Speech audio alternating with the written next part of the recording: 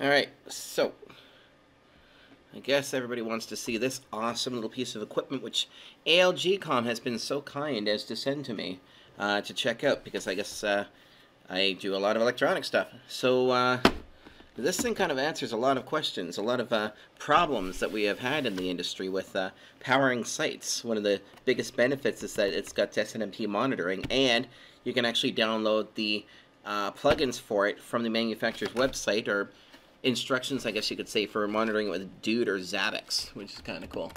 So, yeah, let's open it up. I've been waiting to crack this little bad boy. Okay, so, what's in the box? What's in the box? Okay, let's move this aside. So, we've got a probe, a thermal probe. We've got some ears and some uh, connectors here, some uh, fork connectors. And of course the pièce de résistance is the power supplies module itself and a little tiny power cord. But that doesn't really matter because you can just add your own. I think the reason why this one's so short is that uh, you just plug it into the bus bar on your uh, rack. Okay? Let's see here. Alright, so here's the unit. I already had it open by the way. Pretty cool to look at. So you've got two outputs, battery connector, 15 amp fuse, uh, for this is actually the 10 amp model. Uh, yeah, 48 volt 10 amp.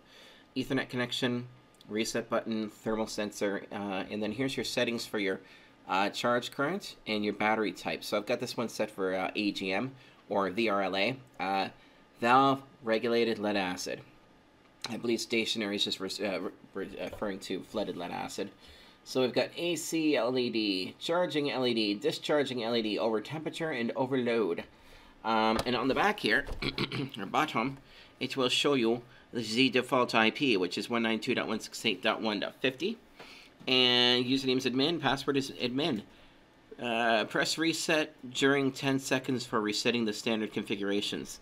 Alright, cool. So you hold the um, reset button for 10 seconds. Oh no, I voided the warranty on it. Oh, really? That's that's such an atrocity, is it not?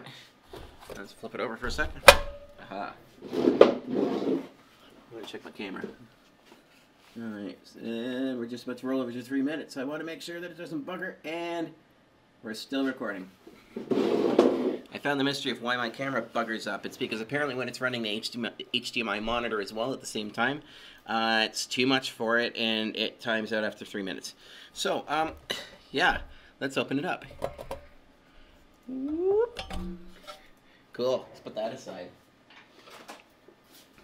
So what do we have here? This is actually a pretty well built board. So the brains here, the SNMP uh, module for monitoring and possibly controlling. I haven't logged into the web interface yet, so we'll do that in a minute. Um, it's kind of on its own.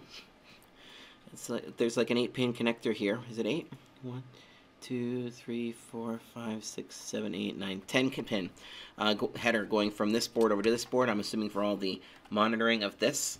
Um, let's see here, and then there's a power supply for this specifically. You can see your fan leads here going over to these two fans over here, dual fans blowing against the um, aluminium block here that all the FETs are on, the power FETs and the uh, rectifier. Here's a, um, a thermal, is it a thermocouple? I think it's a thermocouple right there. NTC 666. Why do I see 666 everywhere? I don't know. So that's right there. We've got some nice Japanese capacitors here. Very nice caps.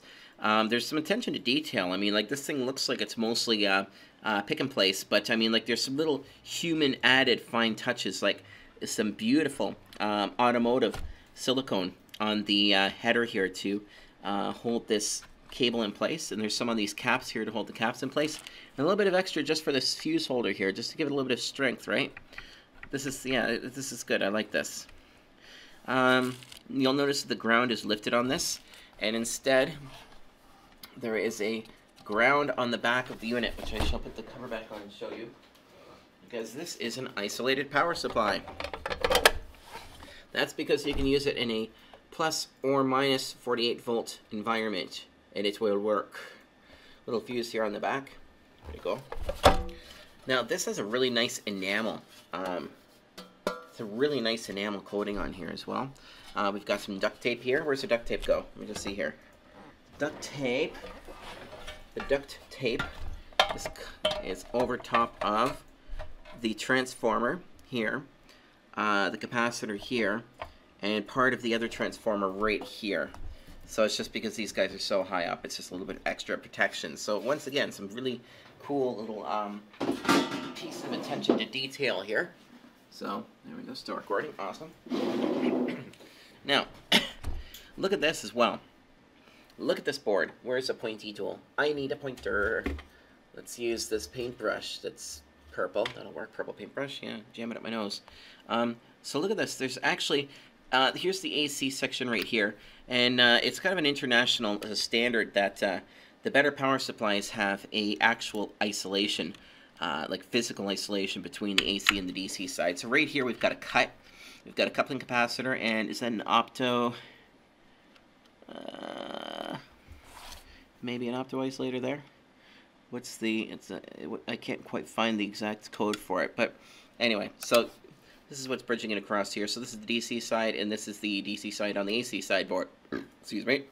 Now, some cool stuff here. There's actually a cut in the board here to ensure that we don't have any uh, AC bridging.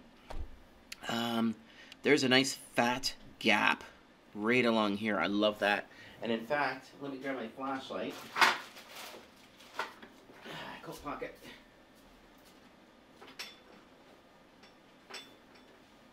Alright, it's not in that coat pocket. I'm going to grab the other coat pocket.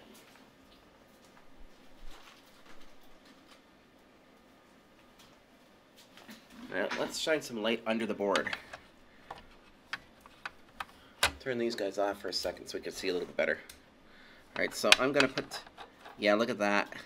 So that's a big, fat, half-inch gap, like right along here, isolating the AC board from the DC board. It's beautiful.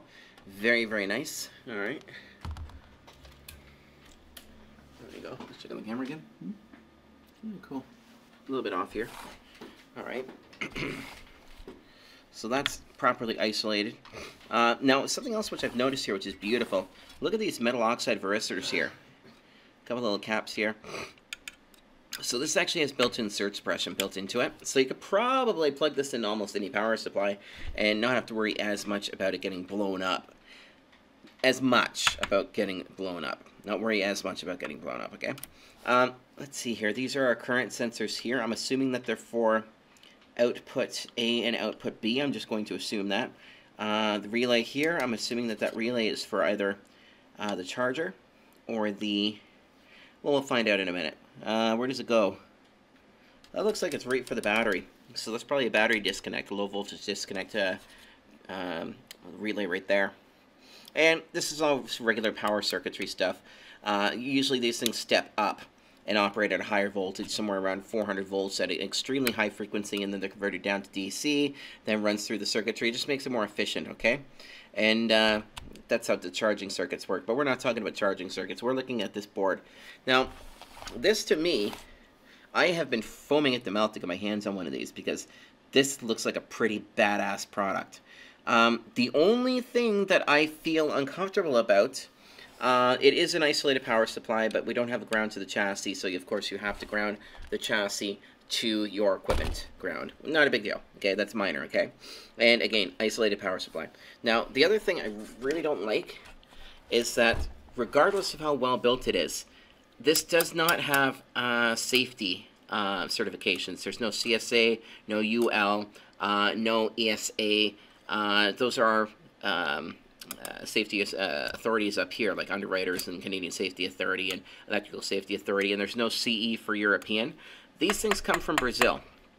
But, uh, you know, I mean, so clearly these guys know what they're doing.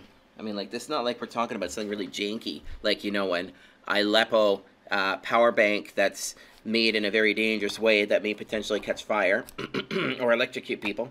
No, this is a really well-built unit. So that would be the only thing that I can really... My only qualm is that there's really no... Uh, no safety certifications on it, but looking at the way it's built and the care to the detail of the board, I mean, like, this is a really nice unit. You can see that. Like, there was a lot of effort put into the design of this. It's very well built. Even the solder. Like, this is such a clean board. I mean, I'm looking at all the solder joints here. I'm not seeing your random solder ball that you'll find in like a Ubiquiti radio or um, in a Netonix switch or anything like that, right? I'm talking about the board has been like scrubbed. So this has probably been put in a, a uh, washing machine of some sort, and they have scrubbed this board of every little tiny contaminant before it actually was assembled. And they have probably stringently tested these things, looking at it this way. And then, of course, the finer detail of adding the automotive silicone here, just as an added measure to secure caps and to make sure that the headers don't come unplugged. I mean, like even over here on the um, uh, thermopile or thermocouple. Yeah, I mean, like everything here is just really well built. I really like what I'm looking at. So the lack of safety uh, certification, mm, it's not something I would really worry too much about. It's more or less like, um, eh, I'm gonna him and ha. I wouldn't let it worry you because there's tons of people out there that are using these things and they're great. And looking at the quality of the components that are actually used in this board, the actual attention to detail for the cleanliness of the board and the soldering, like this wave soldering is just beautiful. Uh, it's just so well built. I mean, like, ugh. I like it. So, I mean, like, I'm pretty excited to have one of my HoloLens to play with. So now, um, let's plug it in and see what it does. so I want to do, I want to hook up the batteries first this time because I noticed a cool little feature. Watch this. Okay, so, um, um, um, I need something to lean this against. Uh, huh. One second. Bear with me here. Oh, a cordless drill. This might work. Yeah, that works. Okay, cool. So let's hook up the battery first. Alright.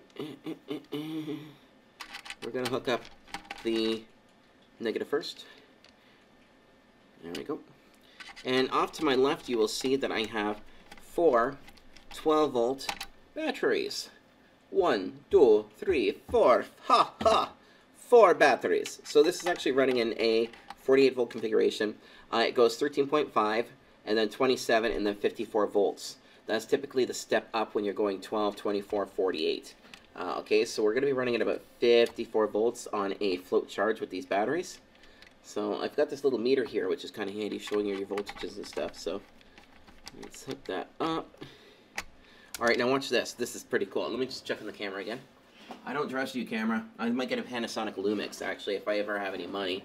Um, so we can start this by poking. I like that. We can poke this.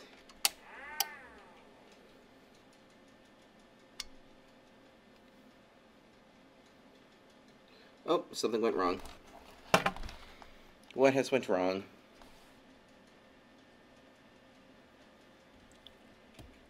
Oh, we popped the breaker. Hold on a second, that shouldn't have happened. Alright, let's fix that breaker. Let's try that again. See, that's why I like to have a fuse. See, I put a breaker in this case on my battery bank. Okay, so we've got our negative goes under negative. Let's try this one more time and see what happened. I'm not sure what happened there. It actually worked a minute ago, so there's it's kind of bizarre. Here we go. And let's look up our positive. Okay, let's try that again. But first, I don't see anything wrong here. There's no reason why this should have popped like that. Um, positive, negative. Everything's hooked up the way it should be. Let me just confirm that. White is positive. Yeah, batteries are hooked up properly. So let's just try that one more time. Maybe it's something funny happened here. Say, if, uh, they're not in the posse, they throw you out. All right. That's why. So, so the reason why. And that popped it again. Isn't that interesting? I wonder why that's happening. Let's try a slightly different approach. Okay, so we've got the power hooked up to the battery terminals here. Alright. Let us hook up some AC. Let's see what happens. And just, I don't think, there's no contamination on the board. Everything's connected properly. I don't see any reason why it should have faulted.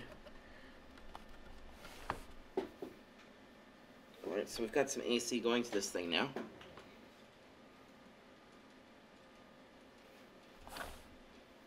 I'm going to disconnect the batteries for a second here just to be on the safe side. Yeah, this thing should have started up. I wonder why it's not working. Oh, hold on. the loose fuse holder on here. Let's plug her back in.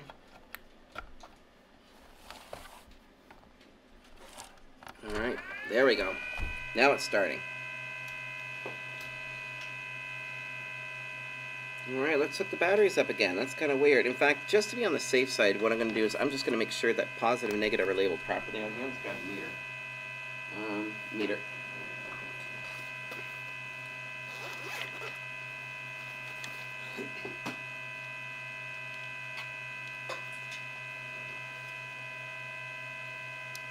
Alright, let's test this here.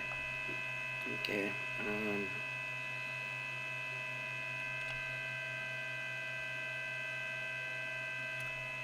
let's look at our. Um,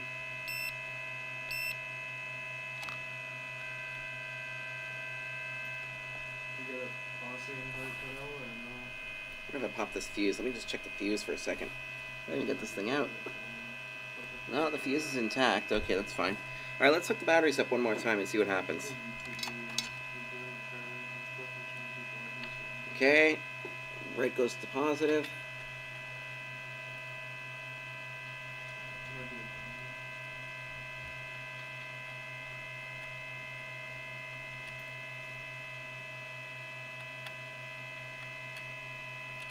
And black goes to negative. There we go, and the batteries are now active, and they're charging. Yeah, it's really weird, because you know what's funny is I already tested this, and it seems to have worked perfectly, so I'm not sure why it faulted, like dead fault on this, unless it was something to do with the relay. Um, whatever. We're experimenting. I may have done something wrong. If somebody saw me do something wrong, by all means, tell me in the comments below, which I'm sure you will. Alright, so now, we're charging at 54.4 volts. That's a little bit spicy for me for AGM. Uh, I'm more of a, let's keep it as close to uh, the float voltage as possible, and no higher. That's just me, okay?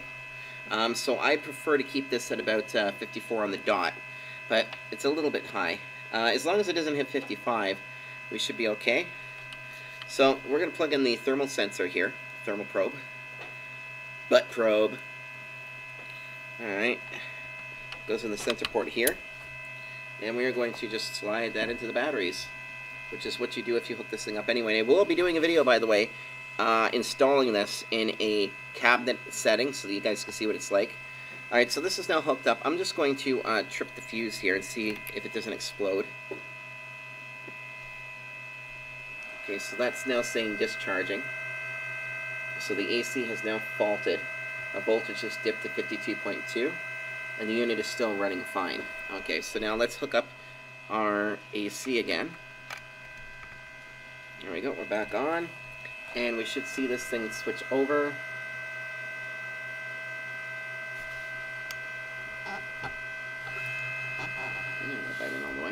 There we go. AC charging. Cool. It's got some handy little LEDs on here. Alright, so it's pretty straightforward. Now, let's connect the load. Um, actually, the load that I have here is, uh, I don't know if you guys can see this, but uh, I have got a that PoE switch that I modified a little while ago right here. So what I've got is, it's 48 volt. Uh, it'll take 54, of course. And then I've got um, two Cisco access points there, kindly uh, donated by Mr. Uh, Joe Miller. And I've got a M2 feed horn on a adapter here. So let's hook this thing up and put some load on this thing now. Alright. So now something to keep in mind here. It doesn't necessarily have positive and negative per se, but there is kind of a cheat here where it says negative. Um, the 0 volt, because this is actually a negative 48 volt power supply, uh, the 0 volt will actually be your positive, and the 48 will be your negative. So let's just look at that, verify that. Um, always err on the side of caution, just in case, because you know what? Nobody is an expert, and if somebody says they're an expert, run like hell. Alright, let's plug it in. Yeah, there we go, 55 volts on the dot, if I hook that up. So keep that in mind, guys. This thing is floating at 55 volts out. So if you're using anything that says it cannot handle up to 57 volts, be careful. Alright, let's hook up some load. Okay, so I'm going to hook up the load A. There we go. And Sparky Spark? Yes, okay. Our PoE is coming online. I've got three devices, so Cisco AP, Cisco AP, and M2 feed horn. Awesome.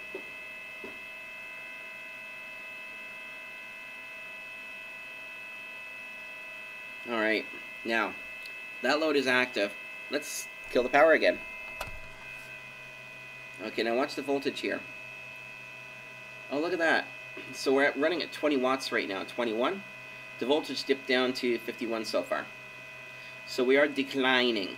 If you want to see your state of charge, I will be explaining that in my 48 volt cabinet video when I use this to actually build a cabinet enclosure. But right now, just look, you can see that it's dipping. We've got 20 watts here. Alright, and uh, yeah, so that's working. And again, I've got the charge voltage for the battery set at 3 amps on the front here. You can do 1, 3, or 5 amps. And I'm not sure, but if you check the manual, I think you do variants of that. You can like go like 8 amps or like 6 amps, whatever. So let's plug this back in. Cool beans. Alright, and here's our switch over right here. There we go. 51. It's starting to top it up again. Okay, so now let's hook up a computer. I want to see the web interface on this. Meh. Put you over here on the batteries. So now let's hook up a, uh, see here, Ethernet cable. And we'll plug this guy in here.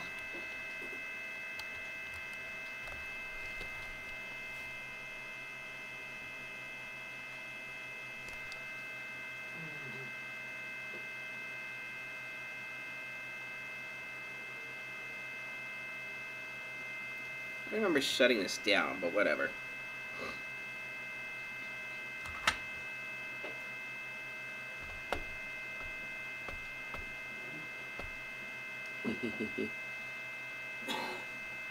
because I'm cool like that. Don't blue screen, little animal. There we go. So, why did I just do that? Because I want to show you guys exactly what I'm doing. See how the camera's doing. Still recording, 2309. Yay. Alright, so let's get some Chrome running on here. Just load. Load, load, load. I got so many of these, but uh, I'd love to have a faster one. Okay, here we go. So we're into the uh, interface for it. So we go into the home page there. No break SNMP power supply. Booyah! This thing is sweet. Okay, so we got our firmware version, UPS firmware version, build date. So this is July 25th, 2019, which means this has probably got the latest uh, firmware on it. Let's hit status now and see what's going on. This is so friggin' cool. Power outage in the last 10 minutes. No, we can change that. Operation mode AC line. Output voltage 53.99, which means that the calibration is out by about uh, nearly nearly five well, it'll be 53 to 54, about eh, 500 millivolts, I guess. Um, yeah, roughly. So the calibration on the interface versus the uh, output on this is actually out a little bit because you see 53.99 there. And over here you can see clearly 54.48 and I did verify that I calibrated this before the video. Okay, 54.4 54.01. So it's just a little bit out, okay? And a little bit of extra voltage won't really hurt it necessarily, but it can definitely shorten the life of your batteries. Okay, again, nothing big. This thing's still kick-ass, okay? I'm not knocking it at all. I'm in love with it. Um, and no, they're not paying me to say that. Literally, they wanted me to be as brutally honest about this thing as possible, which is why I got the opportunity to review it. Um, and I don't want to say much bad about it because I really do think that this is going to solve a lot of problems for a lot of people. Um, here we go. Alarms. Let's see what we got here. AC power, yes. Battery charging, yes. Battery discharging, no. Overheat, no. Overload, no. Fan alarm, A, no. Oh, let's try fan alarm. Doopy doopy doo. Oh, the fan failed, and we've got a red light blinking right here on over temperature. Awesome. Okay, so let's refresh this and see what it does. Uh, alarms. Fan B alarm. Sweet. Look at that. A fan failed, and it's notifying us. And if you look at the fan leads here, by the way, these are PWM. So you've got uh, black, negative, red, positive, and then your PWM lead right there, or uh, your fan speed lead, I guess I should say. So you can actually monitor the speed with this. So this thing actually monitors the fans. That is so handy, especially if a rodent or a lizard or anything else crawls into the fan somehow and like screws it up. Let's unplug the other fan now. This is cool. Oh, look at that. Ha! It updated on the interface. That's cool. Now, let's try to kill the AC and see what happens. Here we go. AC power, no. Battery charging, no. Battery discharging, yes. Oh, and if I go to status now, I should be able to see the current. So we've dipped down to 51.8. Output current is 0.02 amps. I don't know if that's entirely true uh, because this guy here is actually drawing 390 milliamps right now. As you can see, it's drawing 20 watts. So that output current is inaccurate because of these guys here. Um, so that would be, oh, hold on a second. Oh, no, no, no, I was misreading that, guys. I was totally misreading that. Power outage, no break, output voltage, output current. Look down here, charger status. There, I was just looking in the wrong place. Okay, good. So maybe that calibration isn't as off as I thought. Because look, down here, battery voltage 50.54. This is a charger status. So I think it's just kind of like not arranged in a very intuitive manner. So that's just me being stupid. Get used to that because I'm not perfect. Alright, so now we're starting to see a closer uh, alignment of voltages. 50.8, 50.25 here. Uh, current, uh, still 21 watts. Down here, 0.32 amps discharge. See the negative there. So we're seeing 0.42. So it's about 100 milliamps off. Not a big deal. That's literally just an adjustment of these um, uh, shunts okay? And here's our temperatures. Internal temperature 27, external 25. So the external will be this bad boy here. Let's uh, make this thing a little bit warmer. Actually, I don't know if that'll do that fast enough. Let's just stick that in the old armpit. There we go. That's, that's what doctors do to measure your temperature, right? So we should see that climb a little bit. 26 Celsius. Now, the tip of this probe also has a rubber jacket on it. It's got some rubber sheathing, which is protects it so that you can stick it down by the batteries and not have to worry about uh, potentially using lead acids, uh, flooded lead acid batteries that leak on the probe. But yeah, look at that, 31 direct degrees Celsius. Let's see if that hits human body temperature, which I totally forgot what that is. I think it's like, what is it, like 36 or something, 33? Mm, yummy. Uh, 34. 35. I'm trying hard here. Apparently my body temperature is 35 Celsius. Okay. There we go. Mmm, strawberries. There you go. You can go back in there. Alright, so that's cool. That's very cool. Now let's see about commands here. What does commands do? Oh, we're going to have to log in. Hello? There we go. What the hell happened there? M-I-N. A-D-M-I-N. There we go. Reset output. Send command to reset the UPS outputs. Each command sent keeps the corresponding output off for one minute before restarting it. Sending the command can only be repeated after one minute. Firmware update. Okay, cool. So we can reset the outputs on this. Let's try that. Alright, so I've hit reset. So the outputs on here should go offline, but they're not. So I'm looking here. Actually, I should have that like that, really. Can you guys see that now? Let me see. Um, there we go. You guys can see that. So, um, apparently the power has not gone off to this, which is on output A. Uh, this page will be redirected automatically in six seconds. Let's see what happens.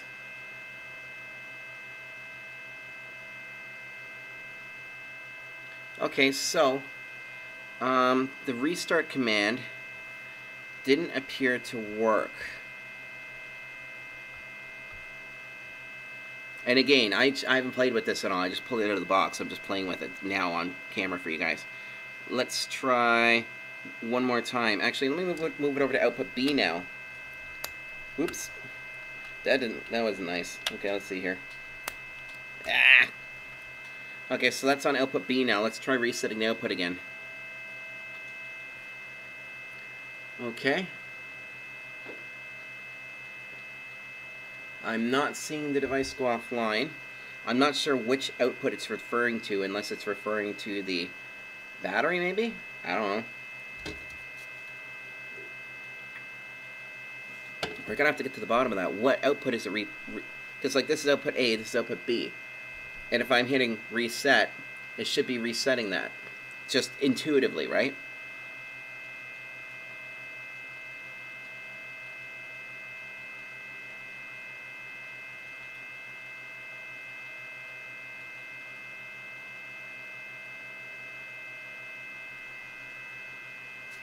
Let's hit uh, F5 here.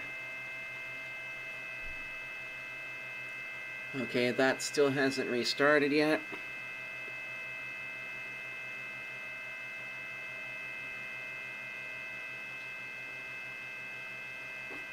Now, how are the outputs managed here?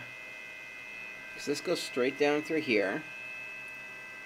Um, okay, so this shunt here is strictly for the battery, and it looks like output A and output B go through this shunt here. So there's only the two uh, current shunts, current resistors. And this comes back down through here. So I'm assuming that these FETs here are the on and off control for the outputs. Okay, still not doing anything. This thing still hasn't turned off yet, and that's what I thought I was doing. Um, what's going on with this web page now?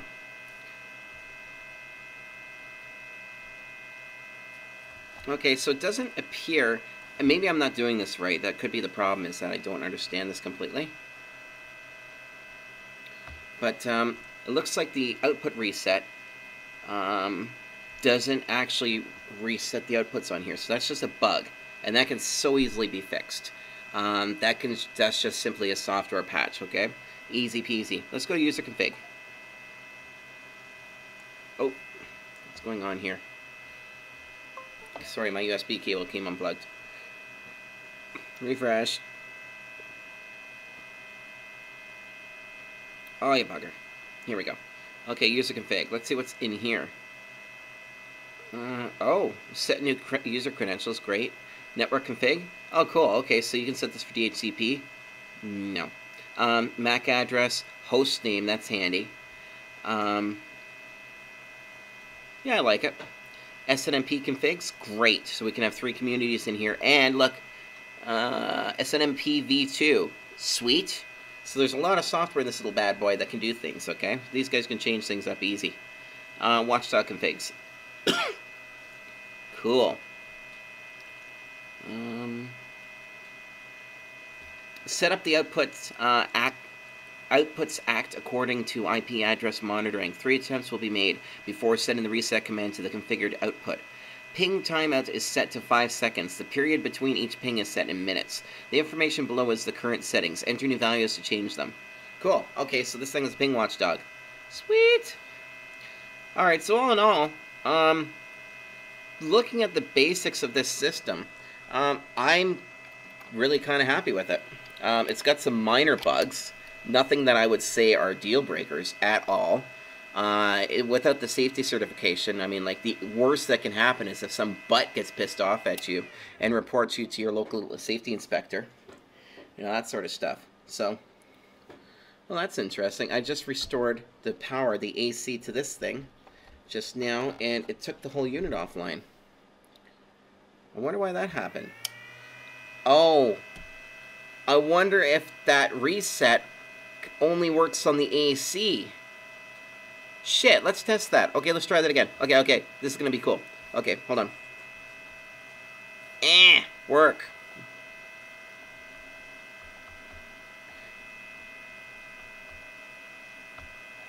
There we go. Let's try resetting the output again. Let's see if it's, it might be uh, resetting the whole unit. Yes, that's how it works. So that reset command resets the whole unit when it's connected to AC. It doesn't seem to work in DC mode. Cool. We're learning things here, folks. Yay.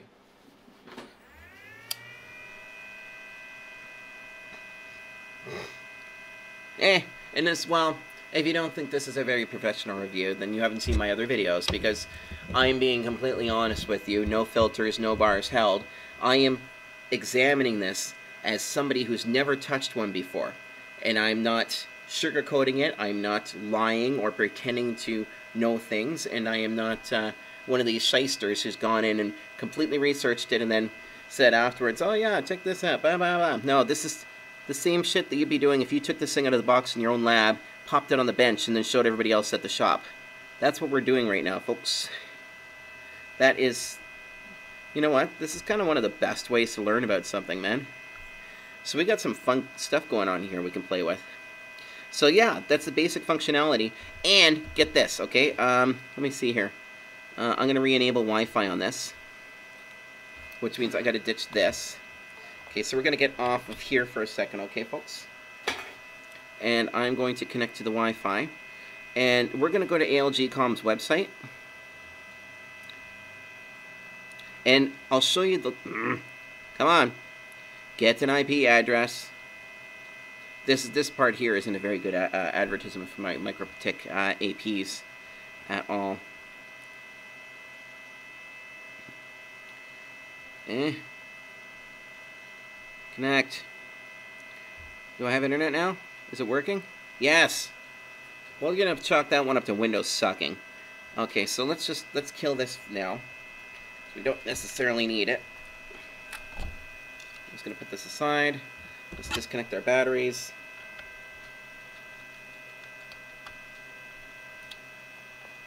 Sensor and AC. There. Alright, so now that we're in here, uh, let's see here. So we're going to, we want to go to English. Alright, DC and UPS converter. ALGcom's got some pretty cool stuff, folks. I, I'm really excited to be working with these guys. Here we go. I hope my hat's not in the way. You know, I'm kind of stupid, so... Here, let's put my hat on backwards like one of those 90s rappers. Um, did we get to... Oh, here we go, DC UPSs. Um, 48 volt. This is the one we're playing with right here. Alright, so the reason why I'm going to this page, by the way... Oh, and by the way, these are the applications they suggest. Um, automation, energy, optical fiber, internet, digital radio, security, telephony, VHF, UHF.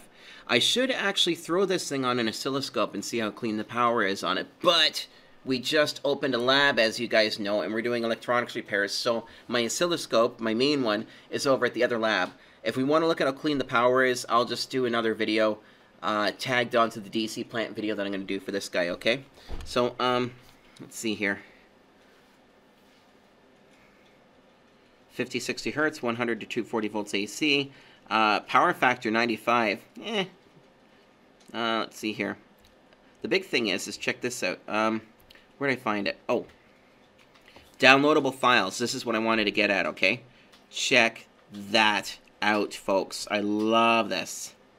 Clearly, these guys are Zabbix fans. Zabbix is a monitoring tool for networks, servers, and services designed to monitor availability, user experience, and quality of services. Click here to download the standard MIB and template for Zabbix 3.2 to be used in the Alcom DC UPS SNMP. And I do believe I saw one for Dude around here somewhere. I'm sure I did. Either that or I've been on cheap drugs, which I don't know how I would do that because I don't typically do drugs. Um, yeah, and of course, here's the data sheet, which is actually just the manual and overview, right?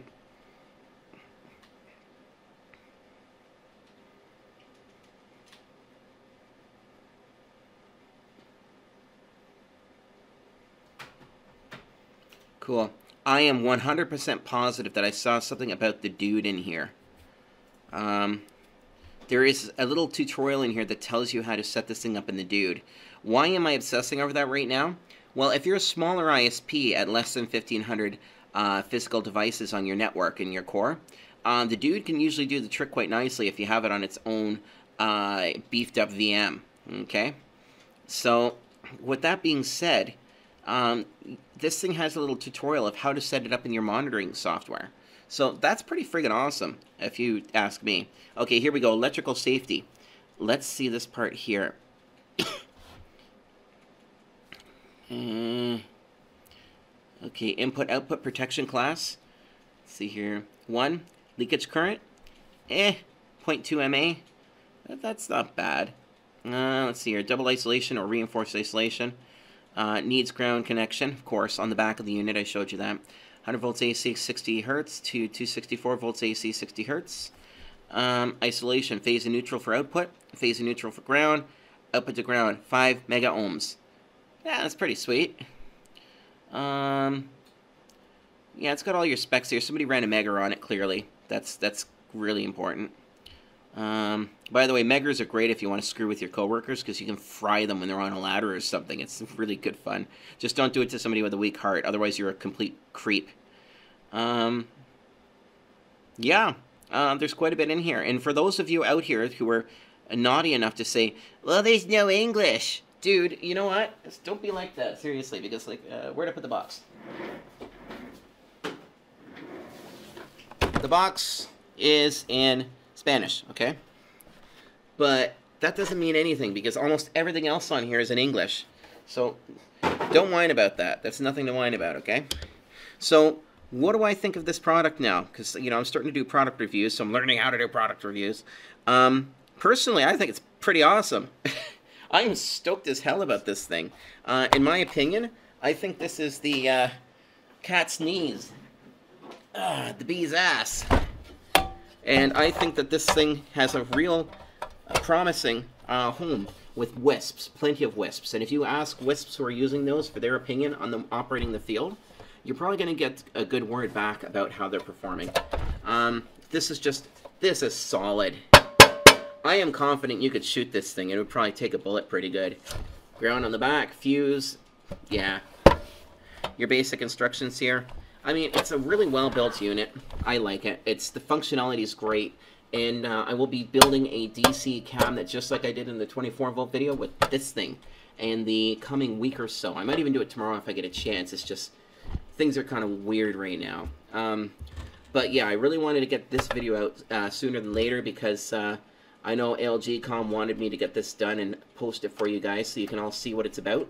Uh, they wanted the good and bad posted, so that goes to show that that company, ALGcom, have real integrity to have somebody like me go out there and uh, give you an honest review of what I think of a product. So, you know, props to ALGcom. These guys are pretty solid, and they're out there for us. They're here batting for us, really. Um, so, yeah, I don't think I can really say much more. Otherwise, I'm just, you know, spewing nonsense. Um, so I'm to put the screws back in this thing and get it prepped up for my little uh, cabinet video. And uh, yeah, that's about all I can say right now. If you think I missed anything, any details about this or any inspection on this or breakdown or if there's anything else you'd like to see in videos that I do like this, please leave it in the comment section below and let me know what you think because I'm always learning and I'm trying to make these videos as good as possible for you guys, okay? Just remember that. And um, yes, remember I'm operating on no budget. So everything that I do is either thanks to donations from guys like you, whether you're sending me equipment or um, helping me out with information, or sending me money um, to help fund the videos. Uh, other than that, everything else just comes out of my own pocket for these videos. I'm literally just doing them to help you guys out, not making anything on that. So anyway, um, you guys enjoy. This is a pretty swanky little unit. I'm going to put the screws back in right after the video because I don't want to hurt this little baby.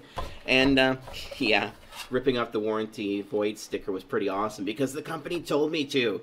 What company tells you to do that? Well, you know the intended purpose. So, everybody, thank you for watching. Have a great night. Again, comments, suggestions, whatever. I'm not perfect. I'm learning how to do these videos and that, so give me my suggestions. All right, have a great night, guys. And, uh, bye.